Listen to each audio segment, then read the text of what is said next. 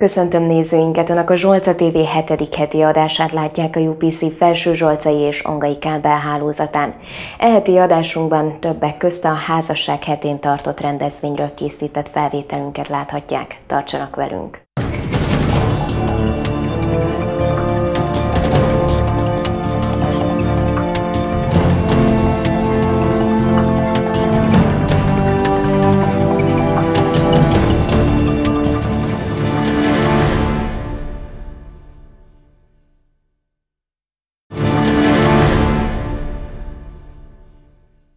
Lakossági és önkormányzati igényeket figyelembe véve Alsó-Zsolca és Felső-Zsolca városok polgármesterei intézkedést kértek a Magyar Közút Nonprofit ZRT-től, hogy a 3606-os számú út Felső-Zsolca Muhi és a 3609-es számú Sajólát Bűcs összekötő utakon 20 tonnás súlykorlátozást vezessenek be.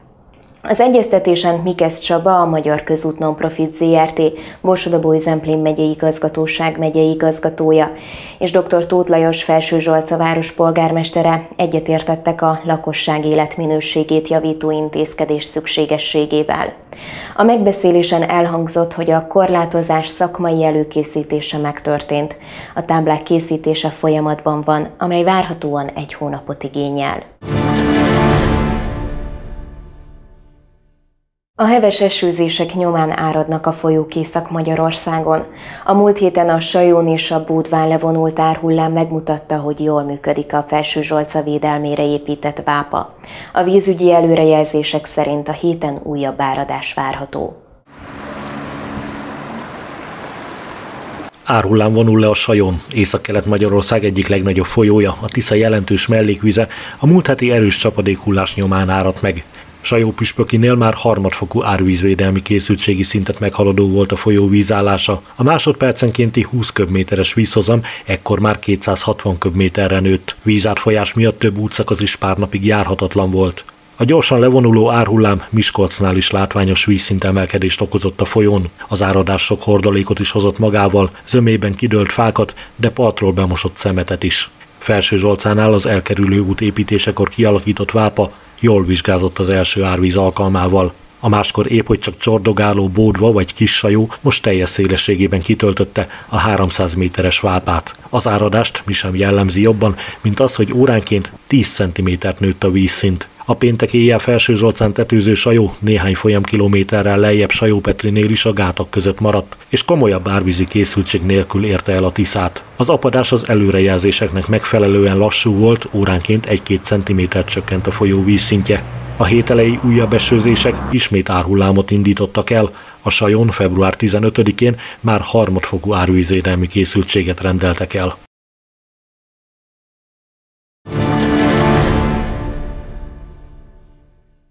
A Vízvilágnapja alkalmából általános iskolásoknak, egyetemistáknak hirdet pályázatot a Miskolci Egyetem és a Magyar Hidrológiai Társaság. Témák a víz szakmai és hangulati szempontból történő bemutatása. A tizedik fotóposzter pályázati felhívást megtalálják a város weboldalán és a Zsolca TV Facebook oldalán is. Életének 67. évében elhunyt Sípos Zoltán volt Felső Zsolcai plébános. Felső Zsolcán 2007 nyarától 2011 júniusáig szolgált. A Zsolca TV archívuma megőrizte a vele készült első interjút, ezzel emlékezünk volt plébánosunkra.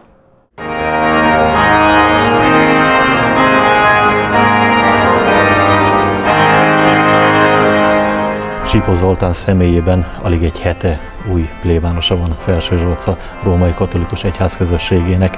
Ez most mondhatjuk azt, hogy egy bemutatkozó interjú, úgyhogy én arra kérem tényleg, hogy mutatkozzon be nem csak a híveinek, hanem a tévénézőknek is. Hát a nevem Sípos Zoltán, polgári születésű vagyok. 1940-ben születtem.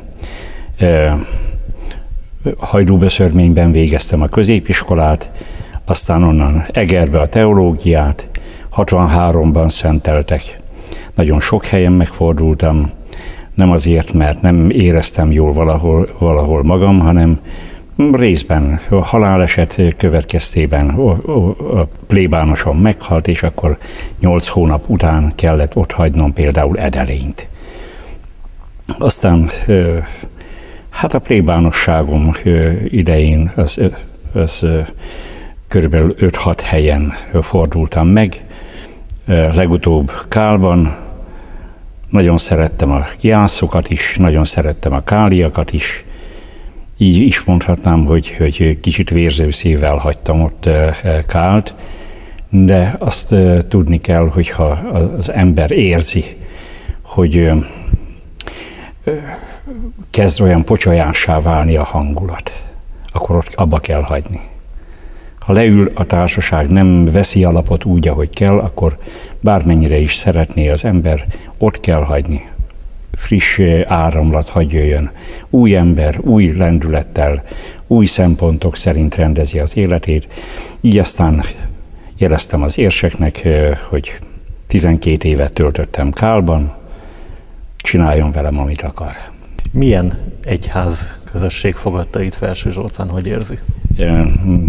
Nagyon-nagyon kedvesek voltak a képviselőtestületi tagok, de segítettek abban, hogy megtudják, hogy, hogy milyen elvárásaim vannak a lakással kapcsolatban például. Hogy, hogy fessék ki a szobákat, pakolást is megszervezték, nagyon-nagyon rövid idő alatt, egy hét alatt körülbelül rendbe tették a, a plébániát. Ez azt jelenti, hogy, hogy ők részben Tóth László halála utáni bőtre fogott lelki vezetés után nagyon szerették volna, hogyha a pap jól érzi magát itt. És jól érzi magát? Hát jelenleg igen. Illetve hát úgy, úgy néz ki, hogy mint aki a, küsz, a küszöb. Még se, se kint, seben úgy, úgy sok szépet látom, látok meg, sok kedvező benyomásom van. Hát majd a későbbiekben kiderül, hogy jó, jó vásárt csináltunk-e, meg jót, jól imádkoztak-e a kedves hívek, hogy, mert hogy imádkoztak, mielőtt ide kerültem, hogy olyan valakit küldjön az érsek, aki a kedvükre való. Mit tart a elkövetkezendő időszak legfontosabb feladatának itt? Összekapni elsősorban a képviselőtestületet. Mert nem a pap irányítja a, a híveket. Ha valaki ezt gondolja, akkor nagyot téved. A híveket elsősorban azok az emberek irányítják, akik közülük való és nekik kell felvenni azt az ütemet, amivel lehet valamit kezdeni a néppel. Fiatalok?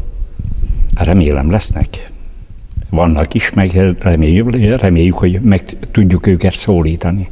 Erre van nagyon szép remény. Éppen tegnap volt képviselőtestületi ülés, és ők is ezt szorgalmazták, hogy a legfontosabb a fiatalokat visszaédesgetni a templomba, meg a, az a hitéletbe. Olyan élményeket adni a híveknek, vagy egyáltalán azoknak, akik érdeklődnek utánunk, hogy azt lássák, hogy érdemes ebbe a közösségben megfordulni, mert pozitív eh, élményekben lesz részük. A plébános irodája mindenki előtt nyitva van, ám arra kéri a híveket, hogy a sürgős esetek kivételével napközben, munkaidőben keressék fel. Nyitva állok mindenki előtt időben. Tehát eh, ezt már eh, kihirdettem, hogy lehetőleg este 7 óra után ne, ne keressenek, mert mindenkinek van magánélete hogyha van olyan, hogy, hogy például haldoklóhoz kell menni, akkor nincsen mese, akkor menni kell. De csak azért, hogy bejelentsék, hogy keresztelő kellene vasárnap, azt, azt délelőtt is el tudják intézni. Várom szeretettel, mindenki iránt nyitott vagyok. A plébános szeretne jó kapcsolatot ápolni Zsolcai kollégáival. Vatamány Albert görög katolikus esperessel már találkozott. Templom nagyon szép, a görög templomban még nem voltam, de azt látom, hogy ez rendezett. Azt tudom első benyomásként mondani, hogy sajnos nagyon keskenyre építették a, a régiek az utcát. Az még gondolom, hogy a lovaskocsikra számítottak, és arra építették. De egyébként én úgy látom, hogy, hogy ki fog, meg fogom szeretni, ha egy mód lesz rá föltétlen meg fogom szeretni ezt a közösséget.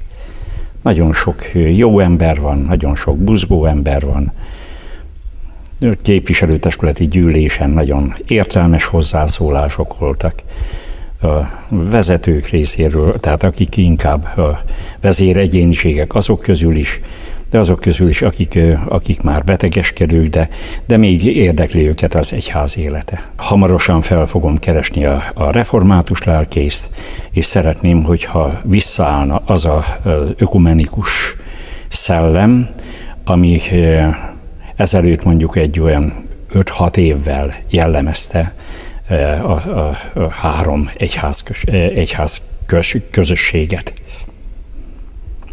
Például a, a januári ilyen ökumenikus rendezvények, meg egyébként is hát az nálunk ez nem idegen, hogy a másfajta felekezettel, vagy lelkésszel élő kapcsolatot.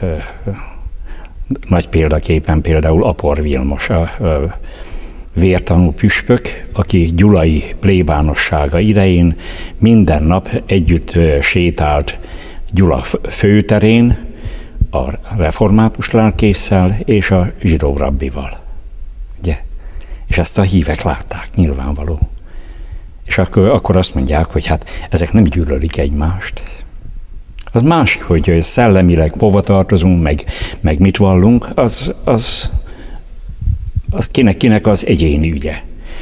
De a gyűlöletet azt ki kell írtani, a szeretetet meg élni kell.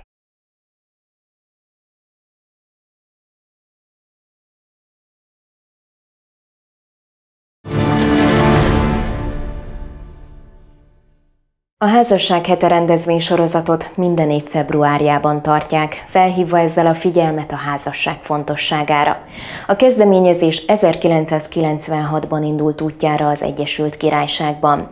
Magyarországon a programot a Magyar Evangéliumi Szövetség és a Magyarországi Egyházak Ökumenikus Tanácsa indította el 2008-ban. Azóta minden évben megrendezik civil szervezetek és keresztény egyházak közreműködésével, számos település és köz közösség részvételével. Felső Zsolca először csatlakozott a programhoz. A három egyházközség vezetőjének előadását láthatják adásunk hátralévő részében. Szeretettel köszöntöm kedves mindannyiukat, akik elfogadták meghívásunkat, és jelenlétükkel megtisztelik a házasság hete alkalmából rendezett együtt gondolkodó, reményeink szerint beszélgetőssé váló rendezvényünket. Mi is a házasság hete? Közel két évtizede Angliából indult el ez a kezdeményezés, amely minden évben egy hétig a házasság és a család fontosságára kívánja irányítani a figyelmet. A házasság hetét, amelyhez hazai és nemzetközi szinten is számos ismert közéleti személyiség csatlakozott, kifejezve elköteleződését a házasság és a család ügye iránt, már négy kontinensen, 21 országban ünneplik. Hazánkban az országos eseménysorozatot 2008 óta rendezik meg a keresztény egyházak és a civil szervezetek széles körű összefogásával, közel száz nagyvárosban, kisebb településen és közösségek részvételével. A Házasság Hete Szervezőbizottsága által koordinált központi programok fővédnöke 2013 óta Herceg Anita a köztársasági elnök felesége. Felső Zsolcán is a helyi egyházak képviselői vetették fel az országos eseménysorozathoz való csatlakozás gondolatát, melyet nyitottan fogadott az önkormányzat, ezért őszinte szívvel mondok köszönetet Alexa Gábor lelkész úrnak, Gújbán Tibor parókus Esperes úrnak, Zajacernő plébános úrnak, valamint dr. Tóth Lajos polgármester úrnak. A házasság hete olyan széles körű összefogásra törekszik, amely gyakorlati példaadással, tudományos kutatások eredményeivel, bibliai és erkölcsi érvekkel támasztja alá a házasság örökkévaló értékét. Bátorít minden olyan helyi kezdeményezést, amely hidat épít az adott közösség környezetében élő házaspárok és családok felé, amely segíti életüket, boldogulásukat. Nyíltan beszél a házasság mindennapi valóságáról, örömeiről és feszültségeiről is. Igyekszik bölcs és gyakorlati tanácsokkal ellátni a házasokat és házasulandókat valamint a teljes helyreállás reményét ébren tartani azokban, akiknek kapcsolata válságban van, illetve valamilyen ok miatt megszakadt. Idén Felső Zsolca is csatlakozott ehhez a kezdeményezéshez, és szívből reméljük, hogy hagyományát tud válni, hagyományát tudjuk tenni ezt a februári alkalmat azzal a céllal, hogy segítsünk egymásnak, magunknak, teljességgel és tudatosan megélni házasságunkat, társas kapcsolatunkat. Értékeljük, hogy többek vagyunk a párkapcsolatunkban, mert személy szerint úgy vélem, két ember jól működő szövetségében egy meg egy, az nem kettő. Még csak nem is egy pár, hanem az több, az sokkal több. Felkérem polgármester urat. Akkor azért néztem szét. Úgyhogy akkor megkérem Felső Zsolcai Házassághete rendezvény életre hívóit, mondják el gondolataikat. Alexa Gábor lelkész urat kérem fel. Mielőtt bármit is mondanék, azt el kell mondanom, hogy a kezdeményezésnek a mozgató rugója az Gújbán Esperes atya volt. Ő volt, aki megkeresett bennünket azzal, hogy találkozunk már mi lenne, hogyha az egyházak is itt a Felső Zsolcán is csatlakoznánk a házasság hete rendezvényéhez. Hát igazából én egy olyan igét hoztam erre a mai napra magammal, ami hát nem kifejezetten a házasságról szól, de mégiscsak benne van, és azt gondolom, hogy a házasságnak egy nagyon fontos érték mutatója. Ez a református bibliaolvasó kalauzban teljesen véletlenszerűen adódott így. A mai napra ezt az ige szakaszt javasolta a mi bibliaolvasó kalauzunk, amely három évente úgymond végigveszi a Bibliának minden könyveit. Ézsaiás próféta könyvéből az 54. fejezetből olvasok fel néhány igeverset, amelyet az Úristen üzen a próféta által az ő népének. Ne félj, mert nem vall a szégyent, ne pironkodj, mert nem ér gyalázat, ifjúkorod szégyenét is elfelejted, özvegységed gyalázatára nem emlékezel többé. Mert aki alkotott, az a férjed, akinek seregek ura a neve, és aki megváltott, az Izrael szentje, akit az egész föld istenének hívnak. Mint elhagyott és fájó lelkű asszonyt, megszólít téged az Úr, és mint ifjú menyasszonynak, ha megvetett volt is, ezt mondja Istened, egy rövid szempillantásra elhagytalak, de nagy írgalommal összegyűjtelek. Túláradó haragomban egy pillanatra elrejtettem előled arcomat, de örök hűséggel irgalmazok neked, mondja megváltó urad. Mert úgy teszek, mint Noé idejében, ahogyan megesküdtem, hogy nem árasztja el többé Noé özönvize a földet, úgy esküszöm meg most, hogy nem haragszom rád, és nem dorgálak meg többé, mert a hegyek megszűnhetnek, és a halmok meginokhatnak, de hozzád való hűségem nem szűnik meg, és békességem szövetsége nem inog meg, mondja könyörülő urad. Hát, hogy miért is olvastam fel ezt az igét? Azért, kedves testvéreim, mert a házasság egy olyan fontos dolog, és a mindenható Úristen szemében is egy akkora érték, hogy az önmaga szeretetét az ő népe iránt, azt, ahogy hallottuk, a házasságban meglévő szeretethez hasonlítja. Hiszen hát én azt gondolom, hogy mindannyian tudjuk, hogy nyilván két ember a házasságban ismeri meg leginkább egymást. És mondhatjuk azt, hogy hát persze, de hát azok is ismerik egymást, akik együtt élnek. Na jó, de akik házasságot kötnek egymással, azok szövetséget is kötnek egymással. És azt mondják, hogy innentől kezdve nem csak úgy együtt élünk, segítjük egymást egy ideig, hanem onnantól kezdve voltunk ketten külön-külön egy-egy személyiség, és innentől egyek vagyunk. Ha csak gondolunk ugye a családjogi törvényekre, hát ugye amikor valakik házasságot kötnek, onnantól kezdve mindenük közös. És aztán persze, hogyha elválnak, ebből jön a sok-sok veszedelem. De hát kétségtelen, hogy akkor a kettő különálló dolog az egyé lesz. És Isten azt mondja, hogy ő ilyen egységben szeretne élni az ő népével, mint ahogy a házastársak élnek egymással. Hogyha az egyiknek bánata van, akkor a másik is szomorú miatta. Ha az egyiknek öröme van, akkor nyilván a másikat is ez örömmel tölti el. És azt akarja, hogy legyen olyan odafigyelés Isten és az ő népe között, mint amilyen odafigyelés egy jól működő házasságban van. Persze az igében arról sem hallgat Isten, hogy egy házasságban lehetnek döccenők. És lehetnek olyanok, hogy megharagszunk a másikra. Azonban ez a szeretetnek egy másik arca, ahogy a éppen itt egy egyik könyvnek a címén is olvastuk, amit Gújbán Esperes atya hozott magával, hogy a szeretet másik arca az a harag, de nem a gyűlölet.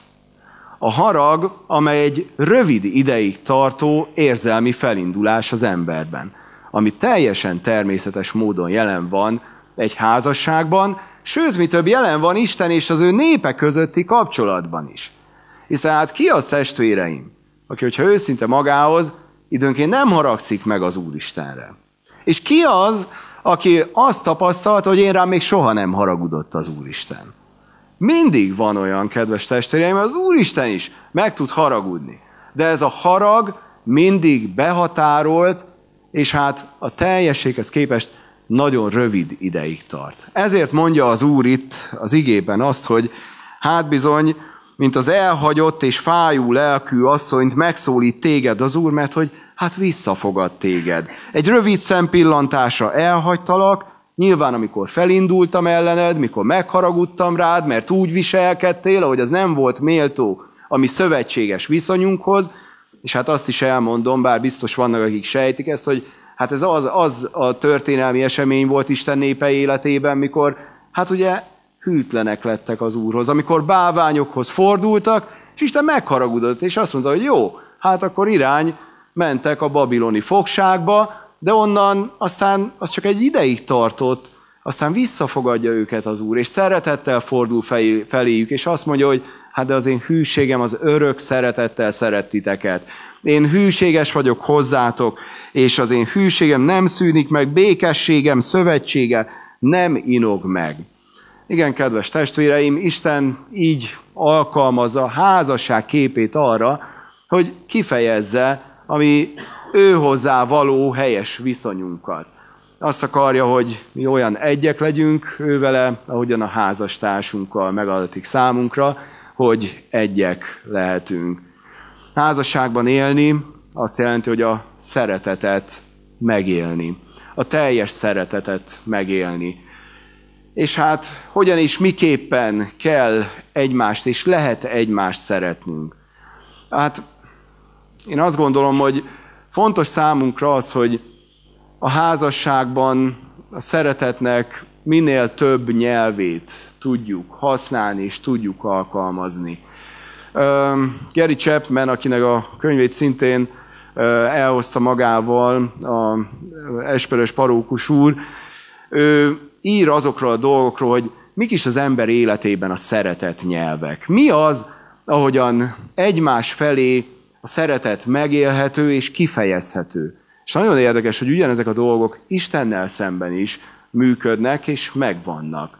Hogyan lehet a szeretetünket kifejezni?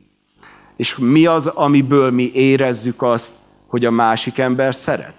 Hát erre várnék most egy-két ötletet, hogyha kaphatnék. Miből szoktuk érezni azt, hogy szeret minket a párunk? Hm? Semmiből? Nem hiszem. Az odafigyelés, a segítés, a gondoskodás, a törődés a másikkal. Hát ez az egyik szeretetnyelv. Van, akinek rögtön ez ugrik be, de más valakinek lehet, hogy valami más ugrik be, mert összesen öt ilyen szeretetnyelv van, ami mi emberek beszélgetünk és kommunikálunk a életünk párjával is. Van olyan, aki abból érzi, hogy őt szeretik, hogy elismerő szavakat mondanak hozzá.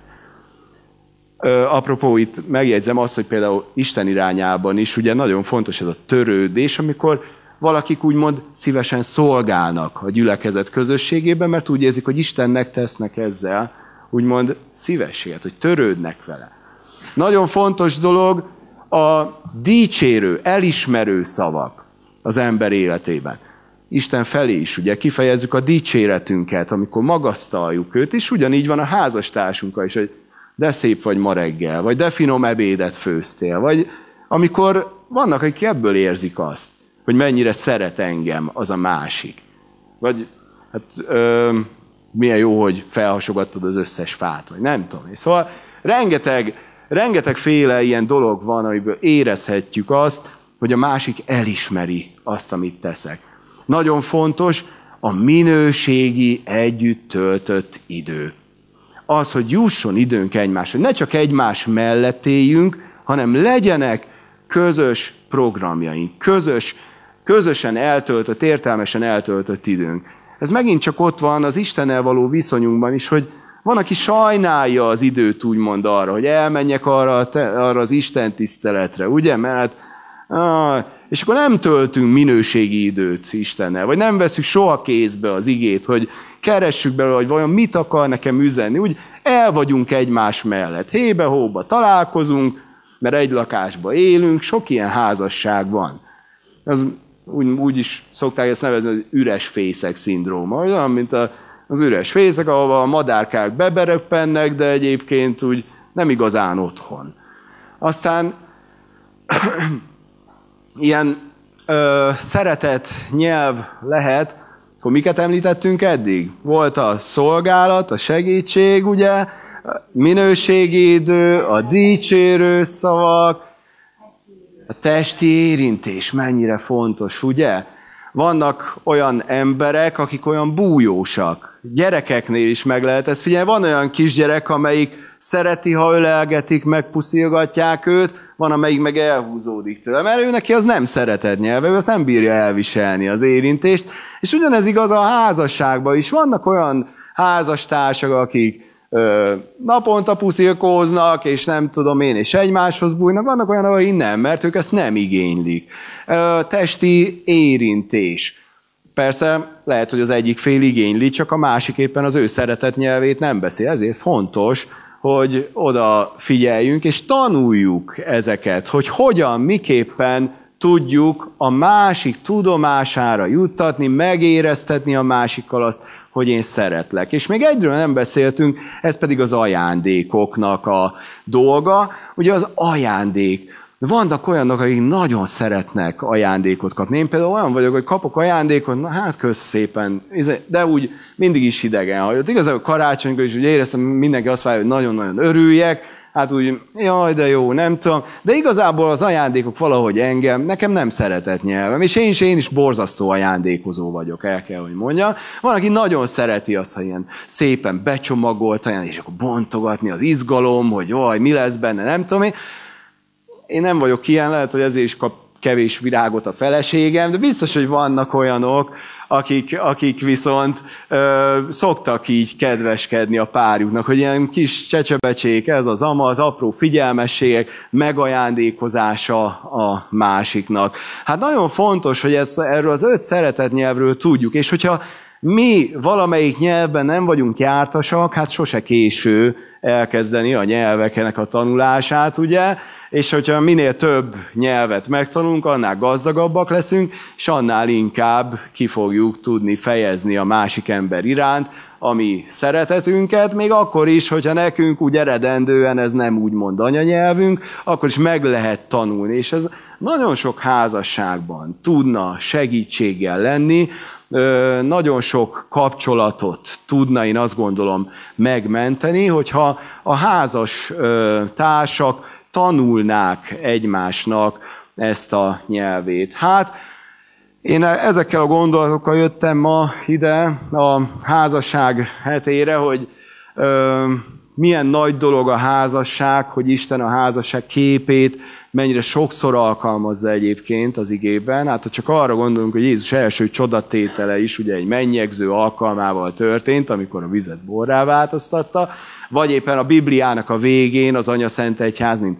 menyasszony van ott, és jön a vőlegényként Krisztus, akivel ö, majd az egyház az idők végezetén úgymond egyesülni lesz, tehát hogy egyek lesznek, egyek lesznek a gondolataik, egy lesz az ő életük.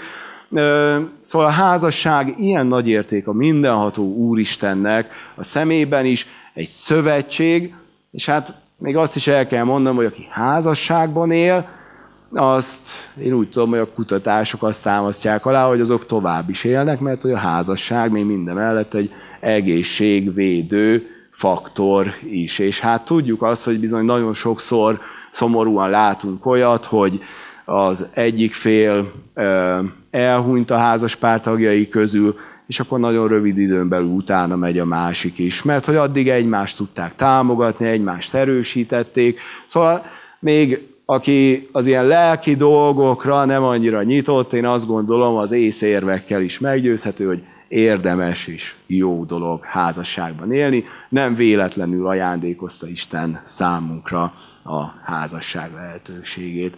Én köszönöm szépen a figyelmet, én ezeket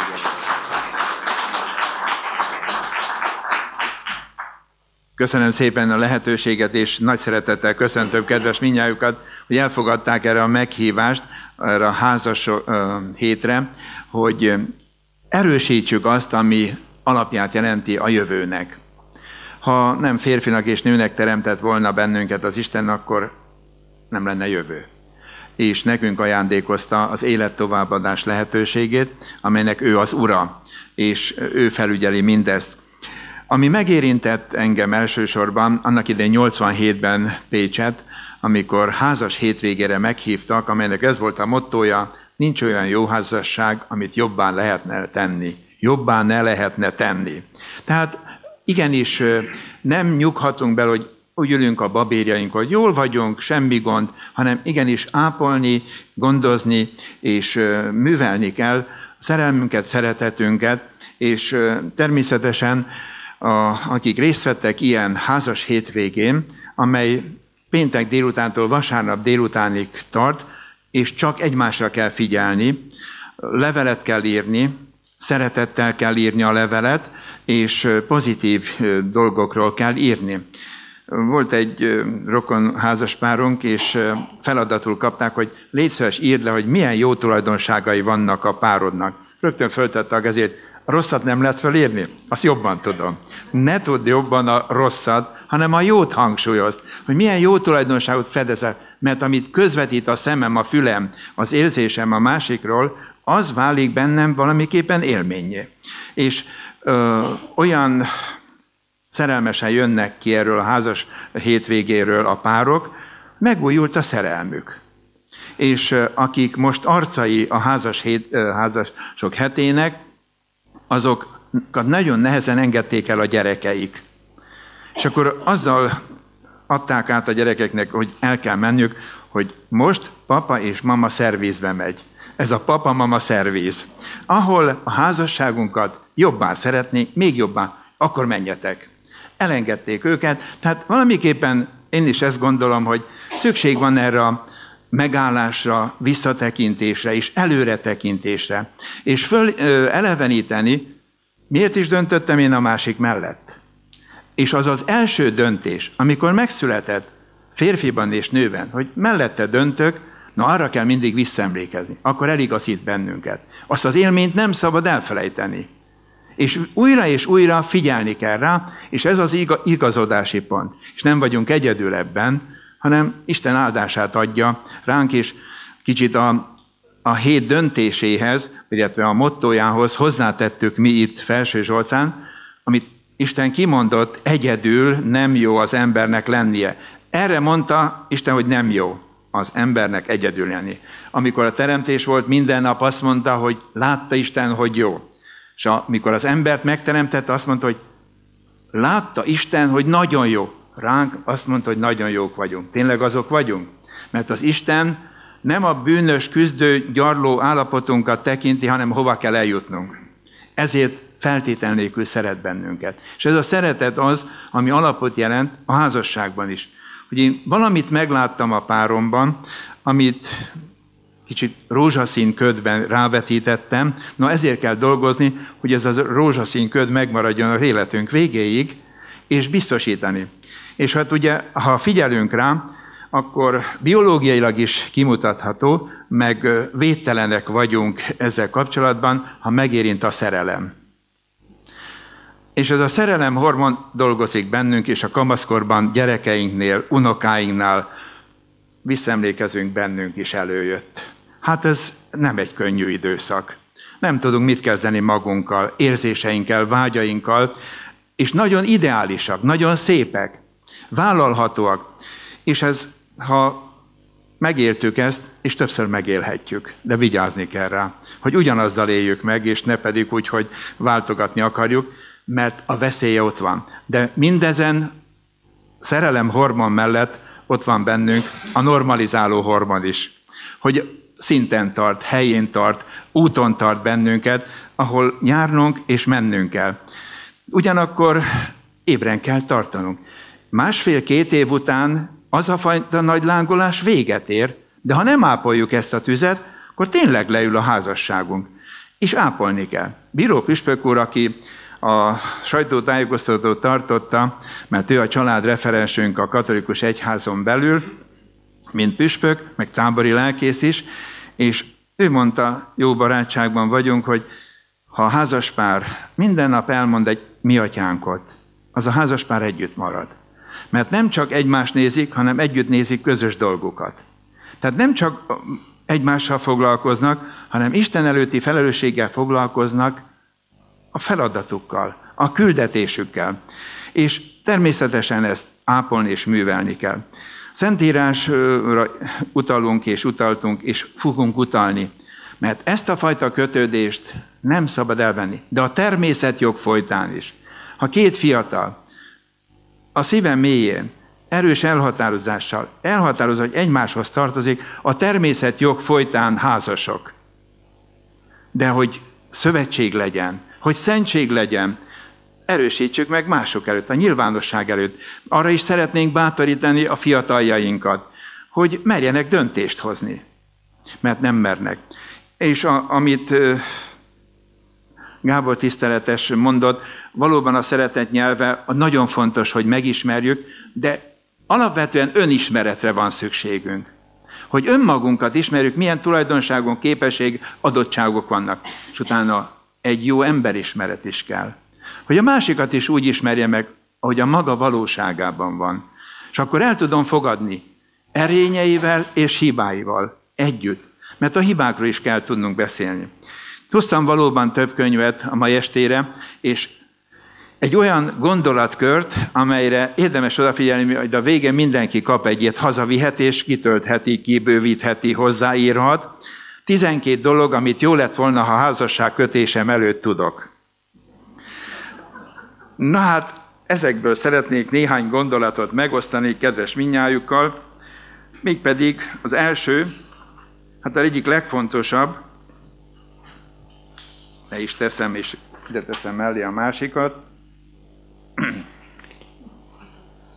hogy a szerelem nem elég biztos alap a jó házassághoz.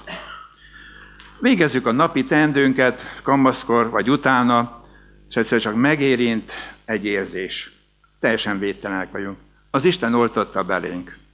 Egy határtalan jó érzés, amely hatalmába került, de ez nem elég a házasságkötéshez. Geri Chapman azt mondja, ezt ő bizsergésnek nevezi, azért ez, ez ettől több. Egy határtalan jó érzés. Azt mondja valaki, hogy a szeretet bújócskája. Keresi az, hogy kihez kapcsolódjon. És ugye a szem közvetíti ezt a kapcsolatot először, de a szívet érinti meg, és valamiképpen udvarlás, és egyre bejebb kerül, és remélhetőleg házasság lesz belőle, bár van egy ilyen mondás, hogy szerelmet házassággal, kávét cukorral, bort szódával elrontani nem szabad, de hát ez, ez csak az, az, hogy valaki védje magát, de hát ettől attól függetlenül mégis, aki megérintette, az néha megissza a kávét cukorral, a bort szódával, és a szerelmet házassággal szentesítés. Nagyon jó dolog ez, és fontos, de nem elegendő a házassághoz. Olyan a szerelem, mint a hab a tortán. De mi lenne, ha csak hab lenne? Ha torta is kell hozzá. Így van. Tehát nagyon fontos, és az, hogy a szerelemnek két szakasza van. Az első szakasz nem kíván erőfeszítést tőlünk. Az jön. De a második már igen, odafigyelést, mert a szerelem időszakában igyekszünk mindent a párunk kedvére tenni. Tehát nem azt mondja, azt a hegyet a zsebkendőm négy sarkába is elhordom. Mégiscsak az enyém, mégiscsak az enyém. Hát az elején ilyen, ilyenek vagyunk. És utána kiderül, hogy nincs szükség a hegy elhordására, másra van szükség, hát itt kell visszatenni helyére, és akkor tökéletesnek látjuk a szemét, akit szeretünk, utána pedig arra kell, hogyha megkérdezi, akár a szülő, akár egy barát, biztos, hogy ő lesz a jó párod? Mert kívülálló azért észreveszi, hogy nem egészen egyfelé húznak. Hogy Pálhegyi Ferenc mondta, hogy ne legyen felemás igátok. Az egyikbe hám van, a másikra járom, tehát oda kell figyelni, hogy ugyanúgy akarja húzni, vagy hátrafelé akarja húzni a szekeret. Tehát a, a párunknak, vagy a jelöltünknek a tulajdonságait ez nem csökkenti a szerelmünket, hanem megalapozottabbá teszi. És a másik, hogy megismertem-e, megkérdezem-e, hogy mire van szüksége, vagy én eldöntöm helyett, hogy neked erre van szükség, mert ezt akarom neked adni.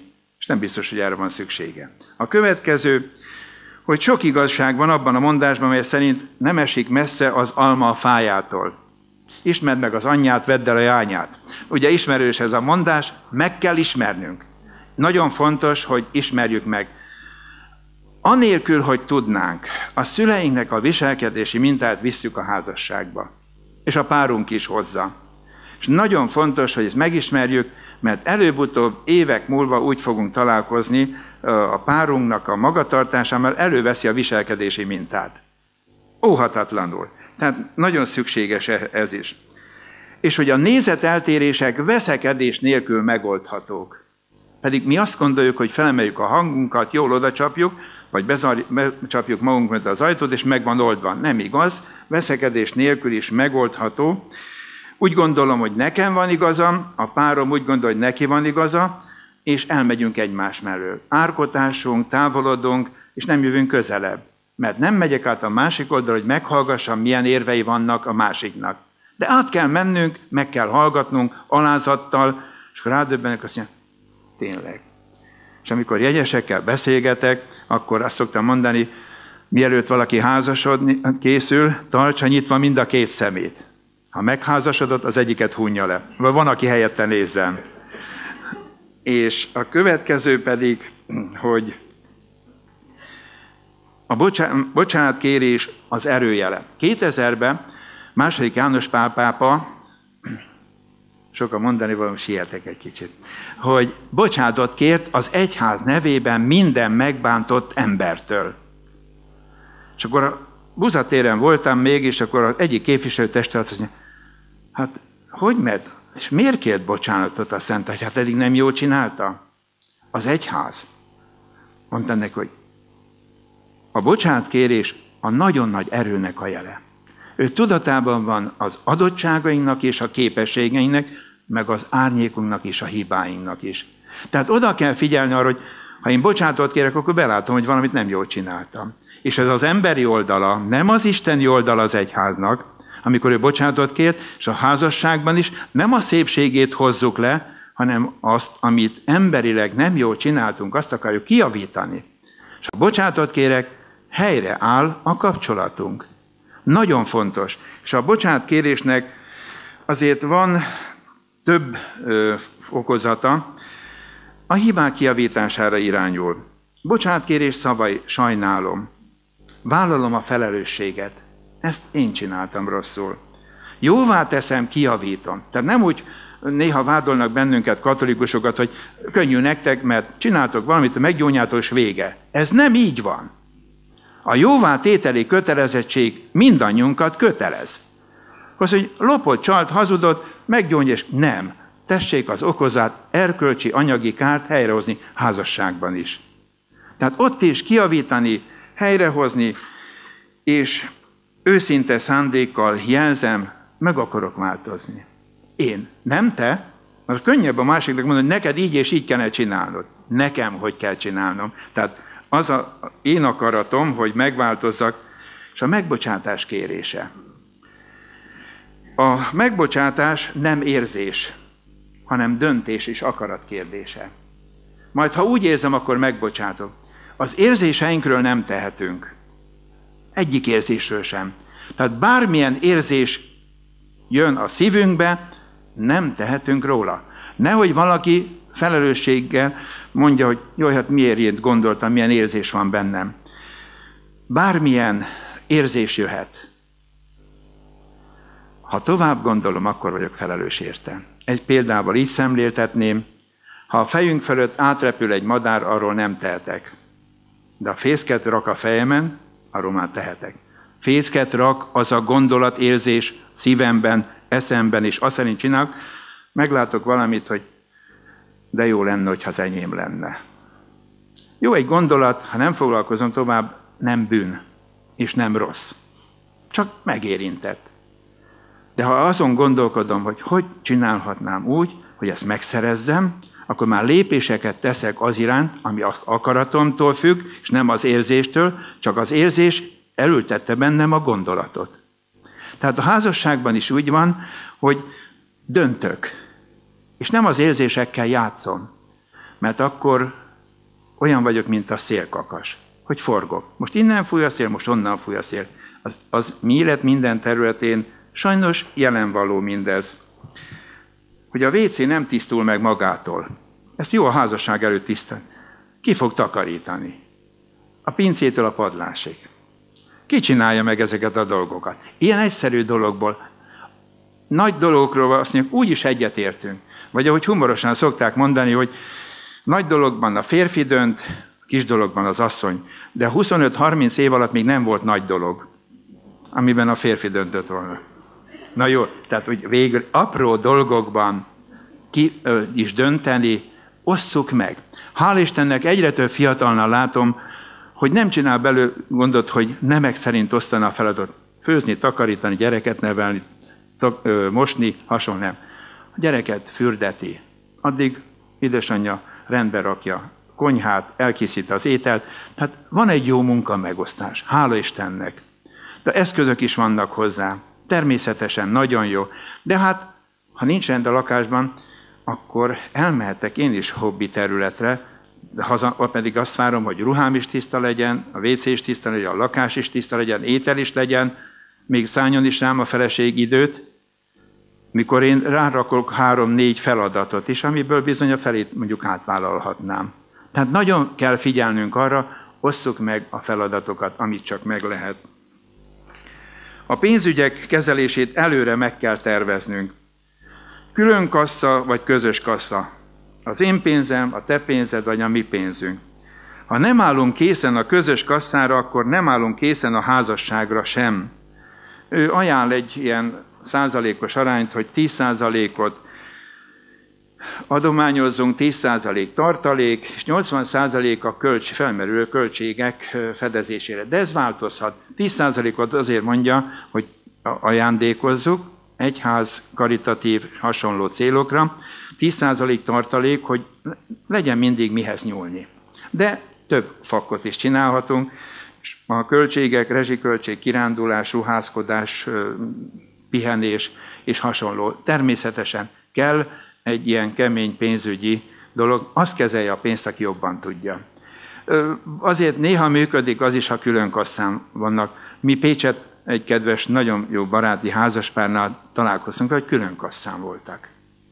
Fizetésüket is külön kezelték, a rezsit közösen fizeték, közös költségeket természetesen közösen vállalták, de én úgy gondolom, hogy hát ha közösséget vállaltunk, egy házban, egy háztartásban élünk, akkor az közös kassa is valamiképpen. De működhet másik is, de azért ez az, ami megalapozza jobban a közösségünket. Természetesen egy határtalan bizalom szükséges mind a két részről. Ugyanakkor észre kell vennünk, mert láttam ilyet, közelünkbe történt, hogy 10 millió forintot félretett a férje mellett, és utána elváltak. Tehát ott is észnél kell lenni, hogy, hogy saját kasszára gyűjt. Tehát, bocsánat, nem szemellenzősök, nem foghatjuk be a fülünket, szemünket, látnunk kell azokat a veszélyeket, ami a világból beszivárog, ami jó kapcsolatainkba is. Tehát megerősíteni szeretnénk azért a házaspárokat, és a következő pedig, amiről keveset beszélünk, szószékről. Hogy a kölcsönös szexuális beteljesülés nem jön létre magától.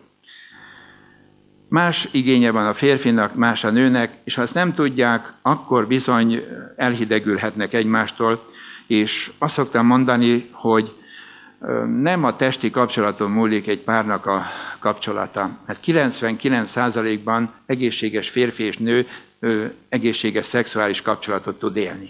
A lelkieken, a szellemieken, az apró dolgokon múlik.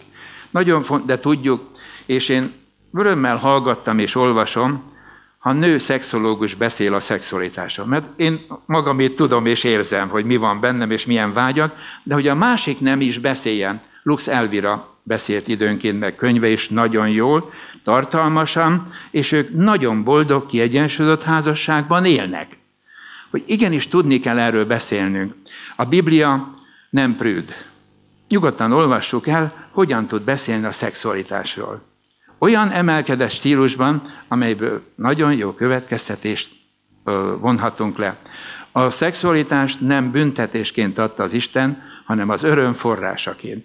Pálapostól, akiről egyesek azt mondják, hogy nőtlen volt, mások azt mondják, hogy mint farizeusnak meg kellett nősülnie, hogy azt mondta a házasoknak, ne tartózkodjatok egymástól, ha csak nem közös megegyezéssel. Tehát egy olyan ajánlást és az Efeszusi levélben, amit ír a házaspároknak, férfinak és nőnek, Krisztus és az egyház kapcsolatára rávetítve, mint végigvonul a Biblián mindez a, a, a párhuzam, és aki gondolja, házi feladatként megkapja, hogy az énekek énekét olvassa el otthon, mert az egy szerelmes könyv, és bekerült a Bibliába. Nem csak rólunk beszél, hanem az Isten kapcsolatunkról is. Tehát ennek megvan a lelki vetület és távlata. Nagyon fontos, és a másik pedig, hogy ha valakinek korábban volt szexuális kapcsolata, sajnos viszi a házasságba. A múltból nem le, múltat nem lehet kitörölni. Az emlékek jönnek. Nagyon fontos, hogy ezek a dolgok természetesen pozitív, negatívan előjöhetnek, segítenünk kell.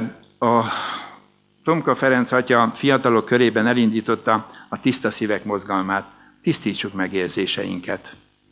Tehát a belsőt, hogy helyére tegyük, és ne követelménnyel álljunk a párunk elé, hogy bezeg a korábbival jobb volt, vagy más volt, mert előjöhet, és megfertőzi a kapcsolatot. A másik pedig, hogy egész családba házasodtam be. Nem csak a szülőket, anyát, apát kell megismerni, hanem a testvéreket, rokonokat. És igenis párbeszédben kell lennünk. Nem csak egy szemét veszünk el, hanem egy rokonsággal együtt vesszük el a párunkat. Akinek szülei, nagyszülei, testvérei, rokonai, keresztülei vannak, és meg kell találnunk a hangot. Jó, ha megismerjük előtte a rokonságot is. És ahogy Gábor lelkész úr mondta, hogy a szeretet nyelvén nem csak a páromnak a szeretet nyelvét, hanem apósom, anyósom, testvéreknek a szeretet nyelvét is meg kell tanulnom, hogy tapintatosan ajándékozzak, figyeljek rá, mert akkor a kapcsolatot erősítem. Mert az információt és a véleményt a párom fogja megkapni, de rajtam csapódik le. Nagyon fontos, hogy így legyen. A másik, a spiritualitás nem egyenlő a templomba járással. Geri Chapman azt mondta, hogy valaki beszámolt róla, már félt menni a apóshoz, anyóshoz, mert az anyós állandóan nyaggatta, hogy de a mi vallásunk a jobb.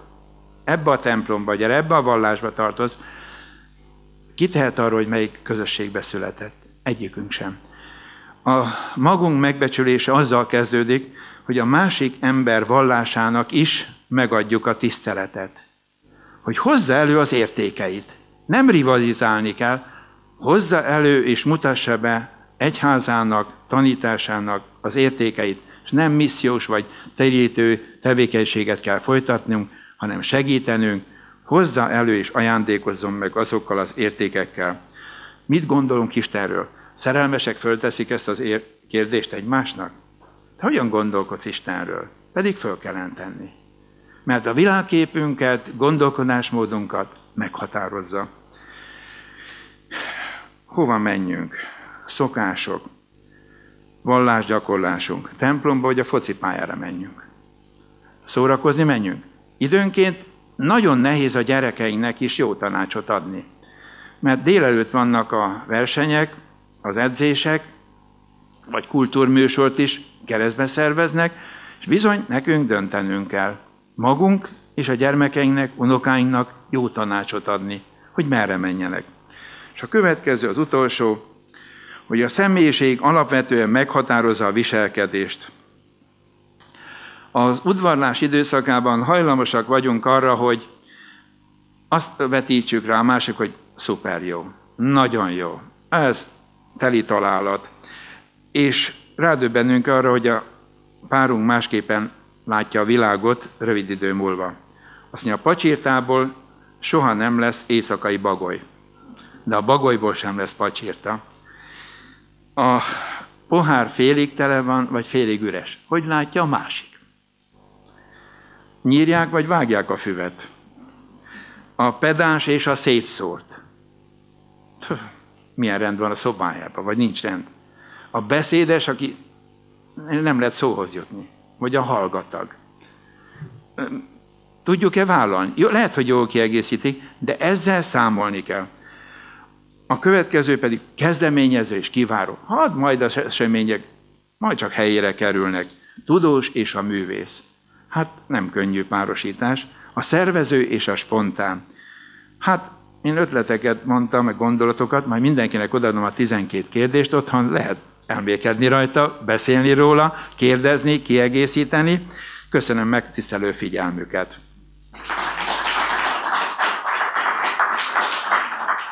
Köszönöm szépen, most már értem, hogy miért vagyok beteg, ugye? ugye, hogy a házasság egészségesé tesz. szóval ez egy, ez egy nagyon jó dolog. No, szóval az az igazság, hogy gondolkodtunk ezen, és valahol jó lenne, ennek folytatása is lenne, és hát sok mindent hallottunk eddig, mondhatnám azt, hogy nem nagyon tudok hozzátenni semmit már ezek után, mert minden elhangzott, és igazából nem kellene hozzátenni semmit. Azért van egy pár gondolat, azért morzaszkál bennem. Néhányat itt fölírtam, úgyhogy majd egy kicsit puskázok is. Ugye, de hát a másikhoz ehhez az egészséghez hozzátartozik az ugye, hogy Péter apostol azt mondta, amikor meghallgatta Jézust a házasságban, és hogy hát uram, ha így áll a dolog, akkor nem érdemes megnősülni. Úgyhogy én Péterrel értek egyet, de bocsánatot kérek mindenkitől. Tehát nekem nagyon jó már így szól, marad, maradjunk ebbe, tehát én nem akarok már ellenben, ami, ami tényleg nagyon lényeges, hogy amit látjuk, látunk mindannyian gyerekeink életébe, saját magunk életébe is talán, de én nagyon sajnálom, hogy kevés fiatal van.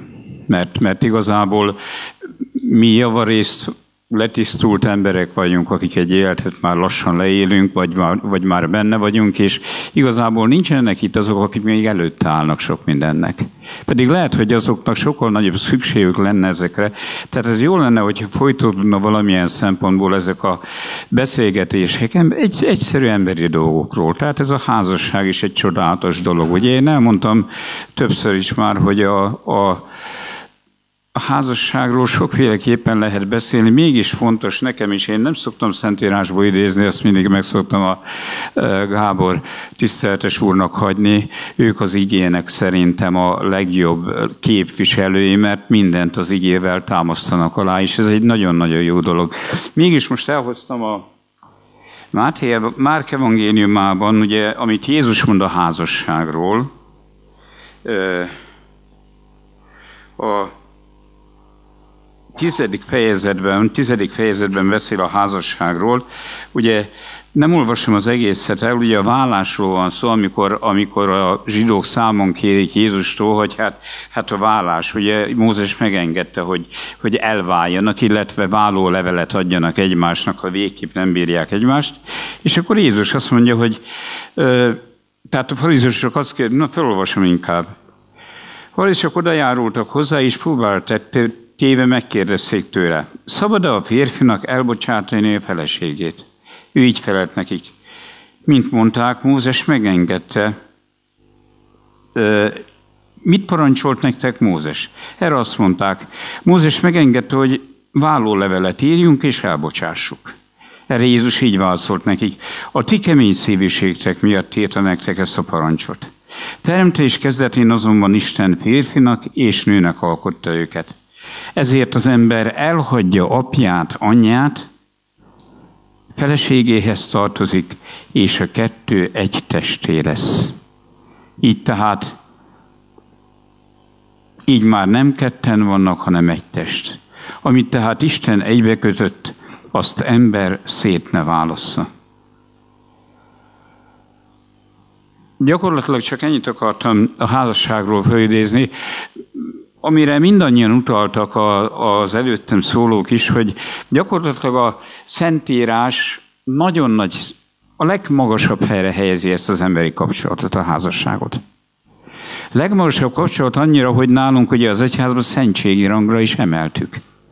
Egyszer megtörtént velem ilyen érdekes dolog, hogy bejött hozzám egy édesanya a lányával és a lányának az udvarlójával, és akkor mondták, hogy hát nagyon szeretnék, mert én szépen beszélek, meg minden, ugye ilyenkor szokott hullani a hajam, szóval, hogy, hogy jó lenne megeskedném őket, és hogy elkezdünk beszélgetni, és hát kiderült, hogy a lány már háromszor férhez ment. El, először templomba, utána nem templomba. És most akkor, most viszont itt van az új pálya, akit, akit nagyon-nagyon szeret. Sajnos neveletlen vagyok néha is, megkérdeztem a srácot, hogy figyelj már testvére, ezek után te még ennek a nőnek hiszel? Az anyukának nem tetszett, mert az, a lánynak az édesanyja volt. De hát ezek után lehet még hinni egy nőnek? Szerintem nem. Tehát nálunk ugye a házasság az egy szent dolog, és valahol, mikor annak idején egy Miskolcon egyetemista voltam, ugye de hogy egyetemista voltam, egyetemre jártam ki, bocsánat, ugye, és akkor hát abban az időben hetes kollégium az eléggé érdekes kollégium volt, akik ismerték abban az időben, ugye dupla olyan magas volt, mint most, tehát azt tudjuk, hogy egy felét lebontották, ugye, és hát eléggé koedukált körülmények között éltek ezek az egyetemisták azért, és hát ennek megfelelően szerintem hát ha nem azt mondom, hogy mint hogy az oknit váltogatja valaki, de majdnem ilyen sűrűsége azért élték a maguk szabados életét, szabad életét, és, és elkezdtünk beszélgetni srácokkal, vagy 12 sráccal annak idején külön mentünk, és úgy fölkerült ez a kapcsolat, hogy most hogyan is éljen meg a szexualitásomat, mit, mit lássak a másikba. Ugye, abba, hogy most hogy van, nem tudom, már kiöregettem belőle, de abban az időben azért nagyon sok lány mindig kiárt ugye diszkózni, és hát minden lány álma az volt, hogy valami fiút fölcsípjen, ugye, mert hát mégis az egyetemista az egyfajta rangot is jelentett. Lényeg az, hogy én akkor azt találtam nekik mondani, hogy sokféleképpen lehet nézni egymásra.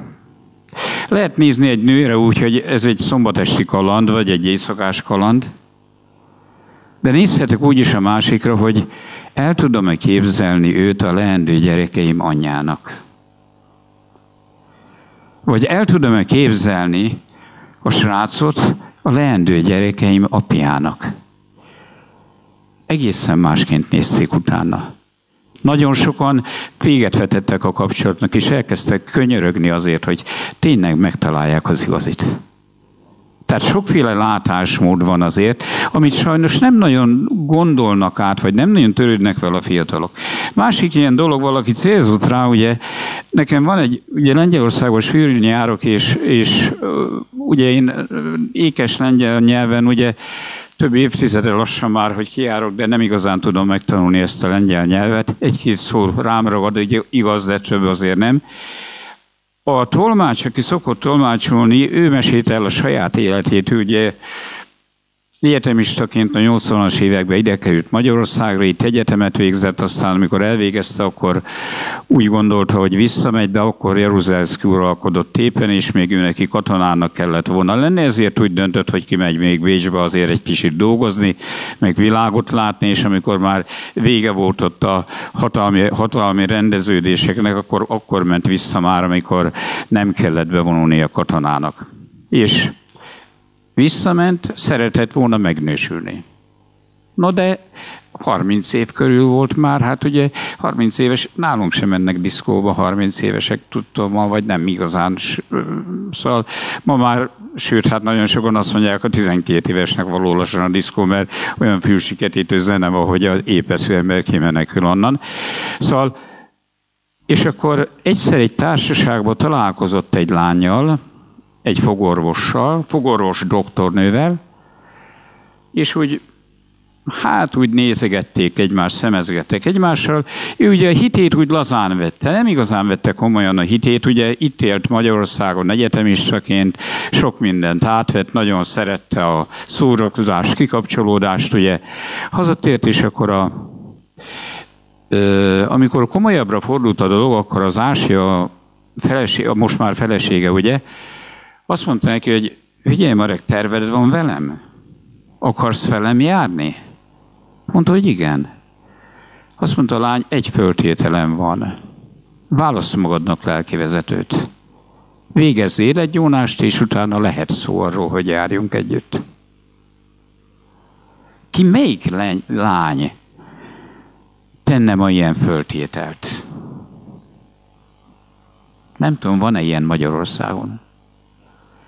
Azt mondja, ez a földhételem. Mielőtt még jobban belezugnánk egymásba. Tehát, hogy mennyire veszem komolyan. Ugye aztán, na hát szóval lehet ezen tovább ö, haladni, de azért, azért egy pár dolgot még én elmondanék, elnézést, kérem, és hadd kérek már valakit, meg aki Zsolti egy tíz perc múlva mutass már egy ilyet nekem, hogy tébető, mert ne, ne húzzuk nagyon az időt. Ugye elég hosszan, tudjátok, a papot meg a kutyát kell eltartani. Az, ugye azokat tartják a szája miatt, ugye. Gondolod, hogy kutya nem ugathatsz neki enni? Hát nem. Pap is így van, hogy elnézést a jelenlévő lelkész testvérekre, ez nem vonatkozik csak rám, úgyhogy... no, én fölírtam, fölírtam magamnak ilyet, hogy Ugye a szerelem, mikor jönnek hozzám jegyesek, nagyon szok, sokat szoktak derülni egymásra, hogy hát mi is jelent a szerelem? De jó nekem veled. De jó, ha hozzád bújhatok.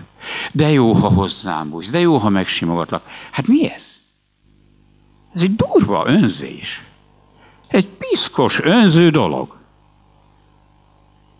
Ez a szerelem? Az emberi szerelem, bocsánatot kérek ez. És nagyon sokszor így mennek bele mai gyerekek is a házasság, mert nincs, aki fölkészítse őket.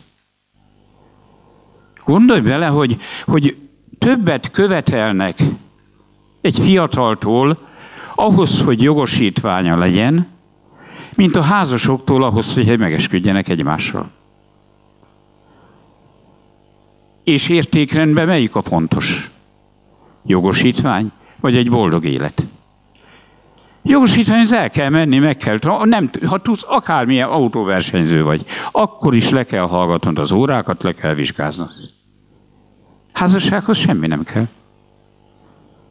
Volt egy időszak, amikor nem kellett még egy hónap se, hogy bejelentkezzenek az emberek. Most azt hiszem a tanácsnál talán egy hónap előtte be kell jelenteni. Ugye, de hát volt egy időszak, amikor nem kellett még egy hónap se. Van egy ismerős kollégám, annak a nővére az úgy esküdött meg, hogy ment a Pesten a fiúval, sétált, és hát én elvesztek, én meg hozzád megyek. Szóltak két embernek, hogy bemenne velük az anyakönyvvezetőhöz. Két vadidegen. Bementek az anyakönyvvezetőhöz, azok tanúskodtak, utána ezt a két tanút meghívták egy-egy felesre, és azok mentek a maguk útján tovább, ők hazamentek, hogy apa, anya, férfeleség lettünk. Szóval, na hát ilyen is van. Most ezek fölkészültek? Hát, na. Tehát azért mondom, hogy a házasság és ugye itt ez ugye sokféleképpen el lehetne kalandozni, de a szerelem ez igazából ezt jelenti az emberi szerelem. És erre a szerelemre azt mondja Jézus, hogy ezt meg kell szentelni. És nálunk hogy ezért szentségi rang a házasság, és ezért nagy. És Jézus megszenteli ezt a szerelmet, mert ugye jó nekem veled? Bocsánat, nem. Minek örülne a másik? Mivel tudnék a másiknak örömet szerezni? Ez a szerelem. És egyetlen egy emberi reláció, ezt már elmondtam. Egyetlen egy emberi reláció, amit, amikor az Úristen egymásnak ajándékoz egy férfit és egy nőt. Ez az egyetlen, ami túlmutat a halálunkon is, mert a halál után nem nősülnek, egyszer beszél Jézus róla, ugye? Tehát, mint olyan a családi élet fogalma oda át nincs. Na de viszont a házastársaknál. Én úgy szoktam fogalmazni, hogy az Isten rajtad számon fogja kérni a feleségednek nem csak a földi, az örök boldogságát is számon fogja rajtad kérni. Mert egymásnak ajándékozott benneteket. Nagyon sok szülő úgy gondolja, hogy a gyereket, gyereket is neki ajándékozta az Úristen. Hát ez tévedés. Gyereket csak rád bízta az Úristen. És utána igenis engedd el a kezét, segítsd és szeresd, mert te is ott hagytad a szüleidet. Mikor választottál magadnak valakit. És hát ugye nagyon igaz ezek a abszolút tanácsok, tehát nem nagyon akarom már ismételni ezeket, amit elmondtak a kollégáim, hogy, hogy igazából amikor én feleségül veszek valakit, ugye egy tanárunk úgy fogalmazott abban az időben Egerben, még ugye Egri várat lehetett látogatni, és volt egy aranyos tanára, Szénási atya, biblikumot tanított szegénykém, és hát ilyen nagyon jámbor szentértű valaki volt, és hát akkor lehetett a várba sétálni, a vár nyárant az tavasszal tele volt szerelmesekkel, akik éppen, mit tudom, anatómiai ismereteket próbáltak szerezni egymásról, ugye félrehúzódva, és azt mondja, tudjátok, amikor meglátok egy kislányt, akkor gyorsan megáldom őket, de el is fordulok gyorsan, hogy ne zavarjam őket. El is fordulok gyorsan. És azt, hogy elmondok értük egy fázt, legyenek boldogok.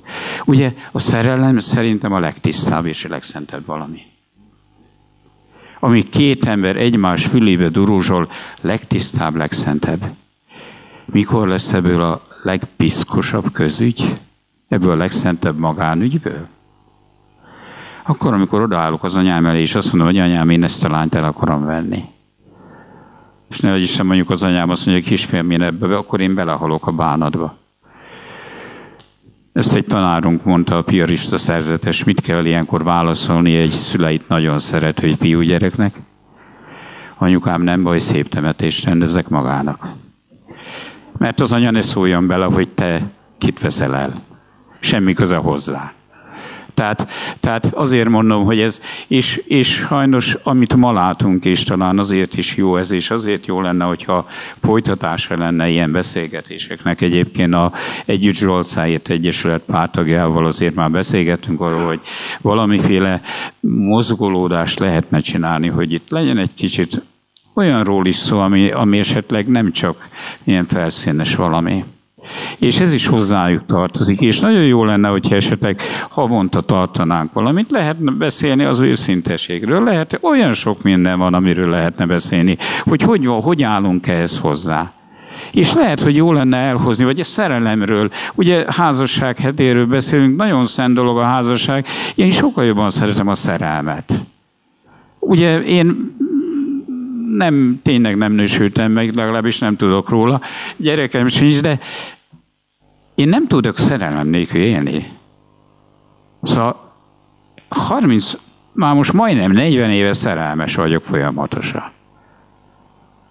Pillanatig nem, szóval életemben nem volt egy pillanat, amikor megbántam volna, hogy elmentem papnak. És boldognak érz, és soha nem voltam magányos.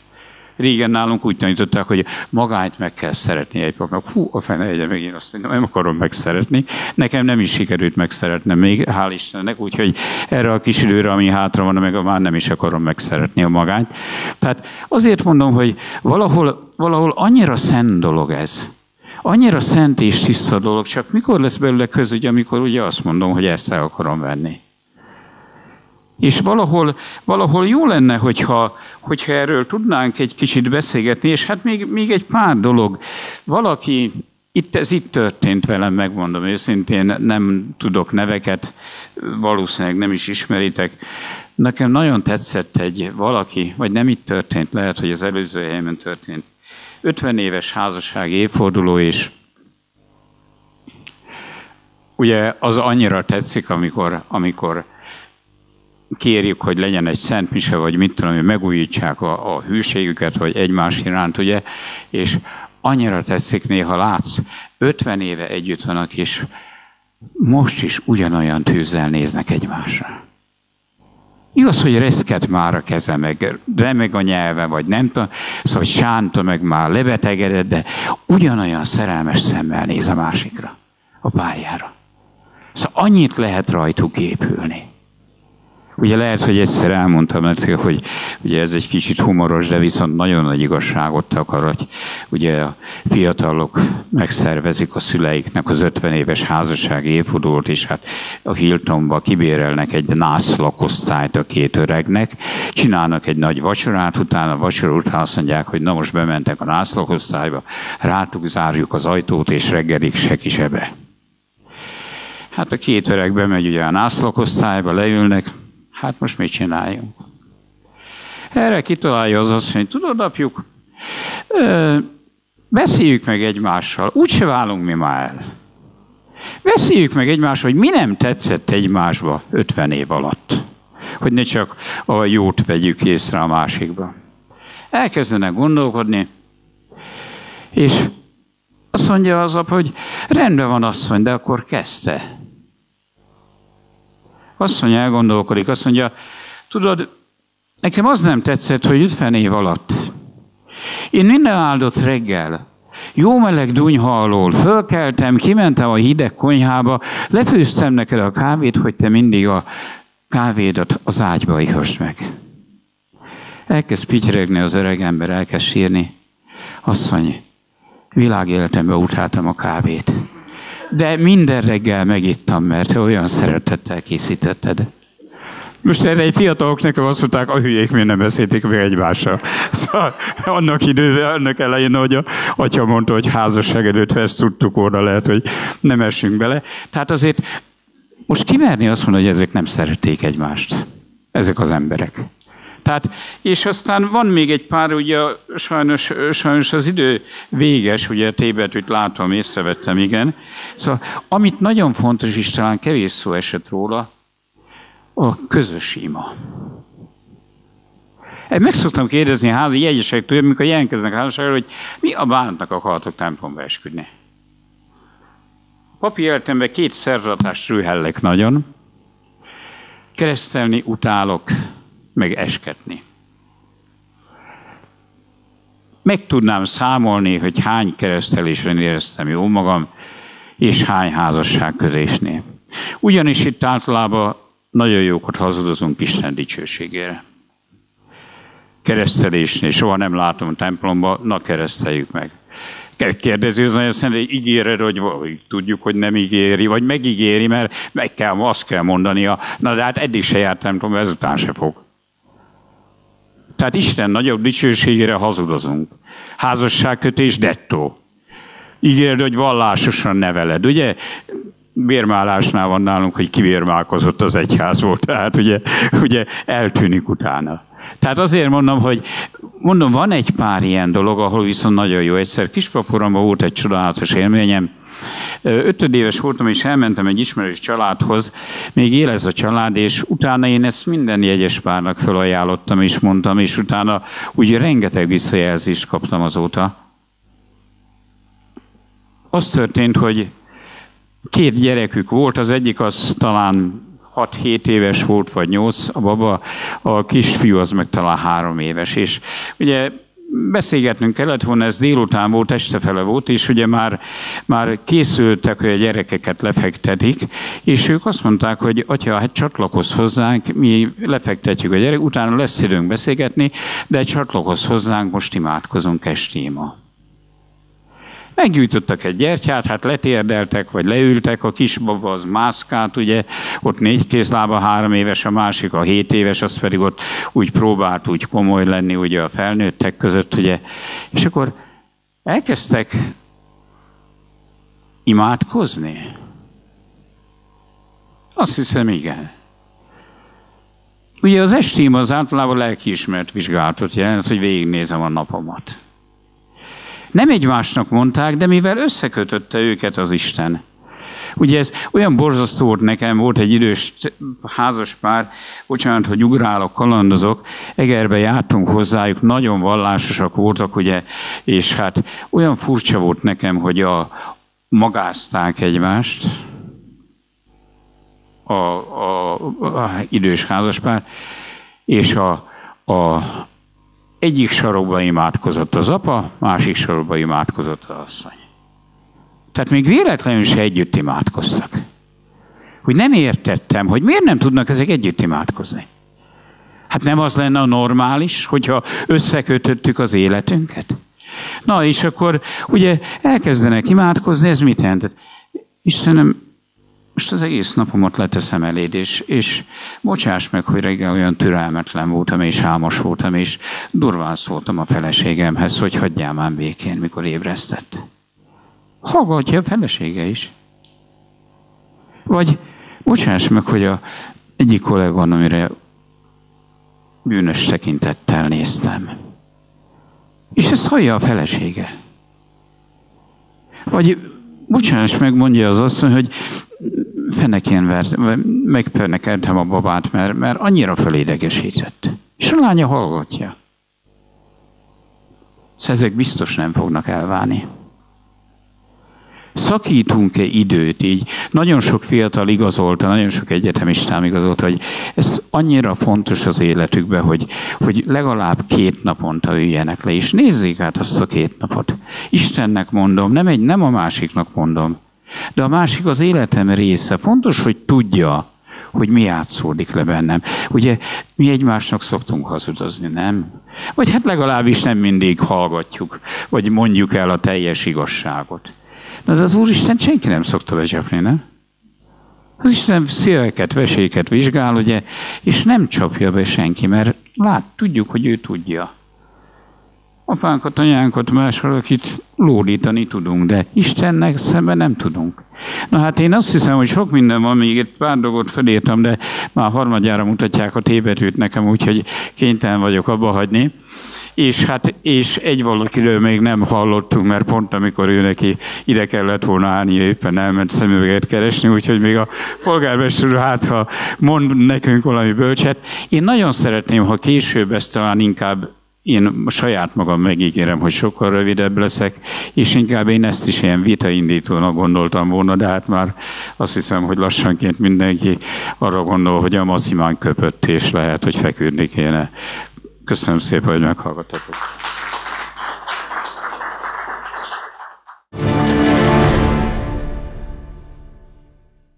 Önök a Közelkép televíziónk heti közéleti magazin műsorának hetedik heti adását látták. Egy hét múlva is várjuk Önöket friss hírekkel, információkkal.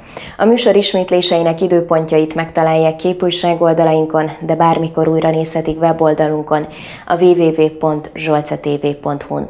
Ezentúl a hétvégi ismétlést követően láthatják a megyei híradót, amely részben a Zsolca TV közreműködésével ad kitekintést a megye fontosabb híreire, eseményeire.